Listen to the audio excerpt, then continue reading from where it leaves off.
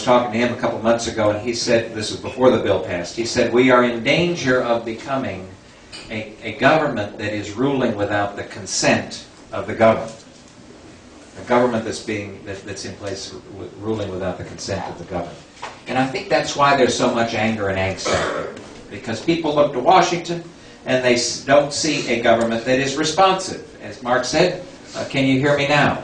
Is the, the, the, the mantra of folks who have become so very, very frustrating. And that's why it's important to send individuals like uh, Eric Wargotz to the United States Senate and to Congress. Because what Dr. Wargotz has done for his entire career is listened to people and, and acted upon that, that interaction. Uh, and acted upon the, the understanding and appreciation that he had for the concerns of individuals, not just in a medical practice, but in a community, and accomplished uh, remarkable things in a very short period of time. And I think that that's, the, those are the kinds of individuals that people across this state and yes, across this nation are going to be sending to Washington this year, like never before.